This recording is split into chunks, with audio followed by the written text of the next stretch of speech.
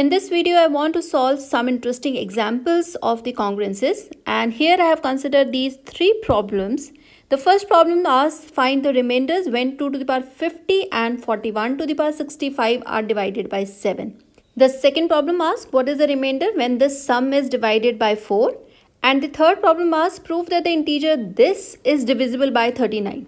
So all are quite similar because we are asking about the divisibility or the remainder. So let us see how we can solve these problem with the congruences.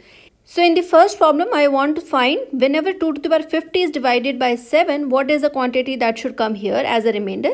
And the second, uh, we wanted to know what is 41 to the power 65. This is congruent to dash modulo 7. So these are the two things we want to find because we've been asked to find the remainder. Let us see for the first case. When 2 to the power 50 is congruent to uh, dash modulo 7. So let's start from the basic list. We know 2 to the power 1 is congruent to 2 modulo 7. This is correct because 2 minus 2 is 0 and 7 divides 0. Then 2 to the power 2, this is congruent to 4 modulo 7. This is also correct.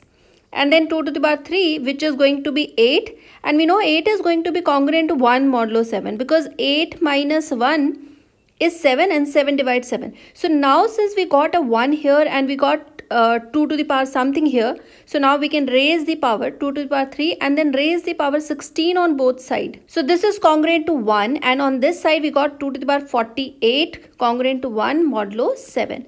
And since we want to reach to 2 to the power 50 so multiply by 2 to the power 2 again on both sides. We can multiply by any constant on both sides. So this left hand side will become 2 to the power 50 and the right hand side is 4 modulo 7. So 4 act as the remainder when 7 divides 2 to the power 50. So this is the solution for the first case. Now let us look at the solution for the second case.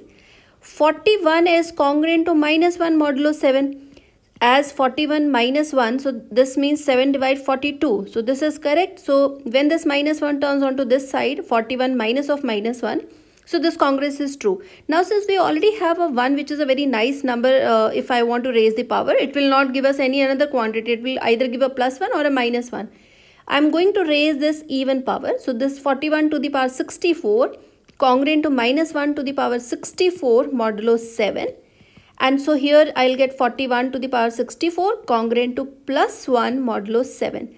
Now since I required 65 in the power, so let us multiply one more time with the 41. So on the right hand side also I have to multiply by this constant 41 and so this side it will become 41 to the power 65 but this 41 I've already proved that this is congruent to minus 1. So it is like A is congruent to B, B is congruent to C so here I am replacing this 41 with minus 1 modulo 7 and because I want to leave remainder remainder is always a non-negative uh, integer. So here minus 1 is congruent to 6 modulo 7 so 6 act as the remainder when 7 divide 41 to the power 65 in second problem we want to know when this sum is divided by 4, what is the remainder? Now here it is a bit tricky because here the modulo 4 is uh, given. So what I will do, I will divide my sum into the block of 4. So if let's consider like this one and we consider 4 to the power m plus 5 to the power 5 plus 6 to the power 5 plus 7 to the power 5 plus 8 to the power 5 and repeat and then we can have something uh, 97 to the power 5 98 to the power 5 plus 99 to the power 5 plus 100 to the power 5 is congruent to something modulo 4 this is what i actually wanted to know. Now let's keep these into the block of 4 and then we will see that uh, uh once we solve this particular block others are going to immediately follow up. So let's see that 1 raised to power 5 this is 1 only and so this is congruent to 1 modulo 4. 2 to the power 5. 2 to the power 5 is 32. 32 is congruent to 0 modulo 4 because 32 is divisible by 4. Then 3 to the power 5. This I can write it as 3 square into 3 uh, square into 3. So I need a total power of uh, 3 to the power 5. So this 3 square which is 9. 9 is congruent to 1 Similar, this 3 square I am replacing it by 1 and this 3 I am keeping it as it is. Modulo 4.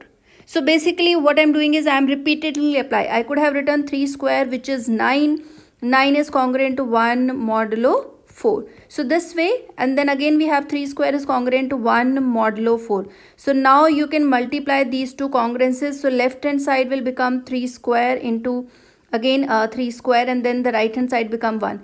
So once you solve this then we also know 3 is congruent to 3 and you can further multiply. So this replacement is basically possible with the repeated multiplication. So now we have 3 to the power 5. This is congruent to 3. So we can simply write that this is congruent to 3 modulo 4. Then uh, we have 4 to the power 5. So 4 to the power 5, uh, as you can see, this is a power of 4 only. 4 multiplied 5 times. So this is congruent to 0 modulo 4. So we have solved first block and now let's look at the second block. This is 5. We know that 5 is congruent to 1 modulo 4. So this means whatever I raise the power of 5, the same power is raised for 1. So 1 is I have already solved. So that means 5 to the power 5 is same as 1 to the power 5. So we can say 5 to the power 5 is same as congruent to 1 modulo 4. This is going to be same. And then 6 to the power 5. This is same as going to be 2 to the power 5 because 6 is congruent to 2 modulo 5. So if 6 is congruent to 2 modulo 5, I can raise their power. So whatever is the result for 2 to the power 5, this is same as 6 to the power 5 and 2 to the power 5 we have already calculated.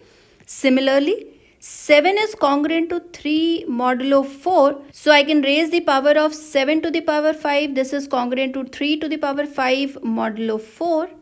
And then we have 8. 8 is congruent to 0 or I can simply say this is congruent to 4 modulo 4. So here I can say 8 to the power 5 is congruent to 4 to the power 5 which is further congruent to 0 modulo 5. So in the same way that means each block is going to come congruent to the first block and similarly others will follow. So similarly we can say that 97 this is congruent to 1 modulo 4 and then 98 which is congruent to 2 modulo 4 and then 99 this is congruent to 3 modulo 4 and 100 which is congruent to 0 modulo 4 and then we can raise their power to the 5 so we know that each of the block is coming up. Now just using this one let's just let me to call this particular uh, congruence as star. So star look and replace each of the four block value. So when we replace each of the four block value what we can get is each block is giving me 1 plus 0 plus 3 plus 0. These were the four value that I have calculated from this previous block.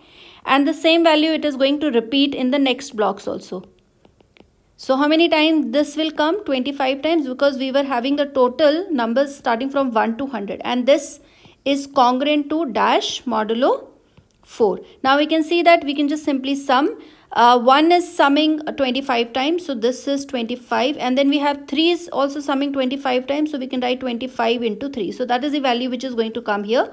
And then we can take 25 common and inside we got 1 plus 3 modulo 4 so this value is congruent to 25 into 4 modulo 4 which is further congruent to 25 into 4 that is 100 modulo 4 and 100 we know that this is congruent to 0 because 100 is fully divisible by 4. So the remainder corresponding to this sum that we were looking is a 0.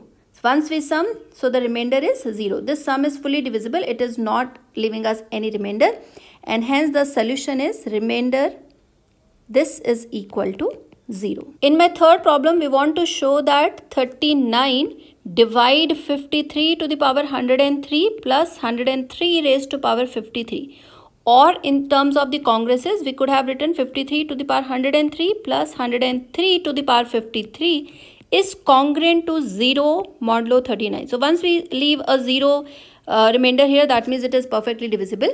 Now uh, what i want is i uh, since here we can see that it's a composite number so i'll write this into a prime factorization and so we can write this as 53 to the power 103 plus 103 53 is divisible by 13 into 3. So what I'm going to use this property is that if A divides some number C and B divides some number C and it is given that the product uh, GCD of A and B is equal to 1 then their product AB divide C. So using this property what I will show is that 13 divide 53 by uh, to the power 103 plus 103 to the power 53 and 3 divide 53 to the power 103 plus 103 to the power 53 if both hold and we know that 13 and 3 GCD is equal to 1 This will imply that 39 will divide this quantity 53 to the power 103 plus 103 to the power 53. So this is what I will show now. So we will, this is enough to show that this and this divide. So our result will hold. So now let's show that and let me to call this as 1 and let me to call this as 2 and let's call this as 3 so that we follow. So to prove 1 we can say 53 is congruent to 1 modulo 13 because 53 minus 1 is 52 and 13 fours are 52. Now simply raise the power 103. This is going to be congruent to 1 modulo 13. This is one thing. And now let's see the second. So because we know that 5303 is congruent to 1 modulo 13. Now also look at the second integer that is 103. 103 is congruent to minus 1 modulo 13 because 13 into 8 is equal to 104. So whenever we want 104 we just take it at minus 1. So this congruence is true and then 103 raised to power 53. Now because the power has odd numbers so this will give me minus 1 modulo 13. Now once I have uh, this 53 to the power 103 congruent to 1 and 103 uh, to the power 53 congruent to minus 1, add these two congruences. Whenever we add these two congruences, what we get is, we will get 53 to the power 103 plus 103 to the power 53 this is congruent to on this side we got 1 and here we got minus 1 so this will become 0 modulo 13 so this proves our first case that 13 divide 53 to the power 103 plus 103 to the power 53 now let's look at this second case and in the second case we want to consider with respect to modulo 3 so 53 is congruent to minus 1 modulo 3 as 54 is divisible by 3 so 53 to the power 103 is congruent to minus 1 modulo 3. This is one thing. And the second case was 103 congruent to 1 modulo 3. Because we can see that 102 is divisible by 3. This minus, uh, this 1 is subtracted here will give it 102. So 103 raised to power 53 is again congruent to 1 modulo 3. Now add these two congruences when we add these two congruences, the left hand side is 53 to the power 103 plus 103 to the power 53 which is congruent to 0 modulo 3. So this will imply that 3 divide 53 to the power 103 plus 103 to the power 53. So these first and second result are proof as we have seen. So we can directly say that as GCD of 13 and 3 is equal to 1, we can directly say that 39 divide 53 to the power 103 plus 103 to the power 53. That proves our last problem also.